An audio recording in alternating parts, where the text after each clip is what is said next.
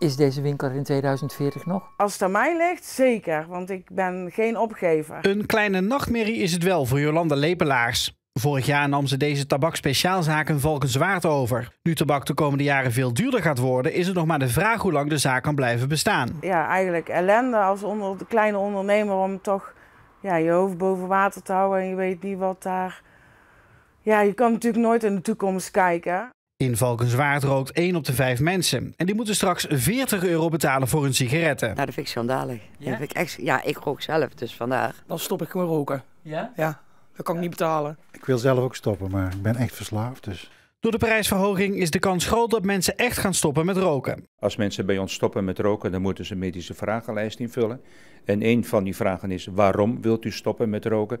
En dan wordt financiële redenen, ik denk toch wel 8 op de 10 keer aangehaald. Dus hoe groter die prikkel is, hoe groter de kans dat mensen eh, Ja. stoppen? Absoluut. Ik rook niet, zeg maar heel veel. Ja, ik rook best wel veel, maar niet zoveel. Dat je echt tien pakjes sigaretten moet hebben. Maar ik wil, eh, nee, ik denk niet dat ik stop. En dat is dan weer een lichtpuntje voor Jolanda en haar tabakspeciaalzaak.